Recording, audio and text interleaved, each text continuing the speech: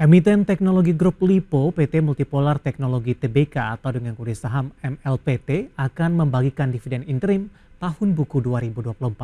Total nilainya mencapai 206,25 miliar rupiah, di mana pembagian dividen interim ini berdasarkan keputusan Direksi Perseroan pada 9 Agustus 2024 dan persetujuan Dewan Komisaris atas keputusan Direksi di 12 Agustus 2024.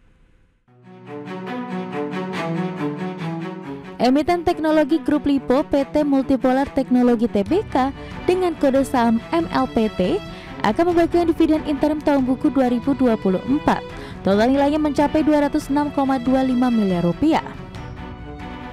Pembangunan dividen interim ini berdasarkan keputusan Direksi Perseroan pada 9 Agustus 2024 dan persetujuan Dewan Komisaris atas keputusan direksi pada 12 Agustus 2024. Manajemen MLPT dalam keterbukaan informasi BI mengatakan perseroan akan melaksanakan pembagian dividen interim tunai sebesar Rp110 per saham untuk tahun buku 2024.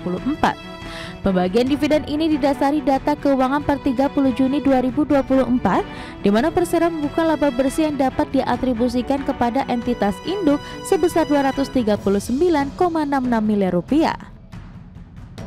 Sementara saldo laba ditahan yang tidak dibatasi penggunaannya tercatat sebesar 452,87 miliar rupiah dan total ekuitas Perseroan sebesar 747,47 miliar rupiah. Berikut jadwal pembagian dividen interim MLPT 2024.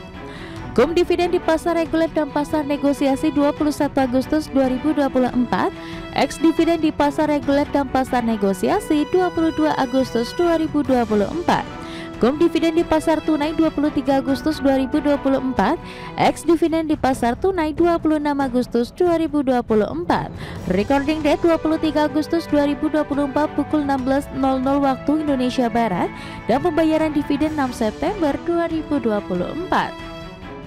Saham MLPT ditutup menguat 5,86% ke harga Rp1.535 pada perdagangan 13 Agustus 2024.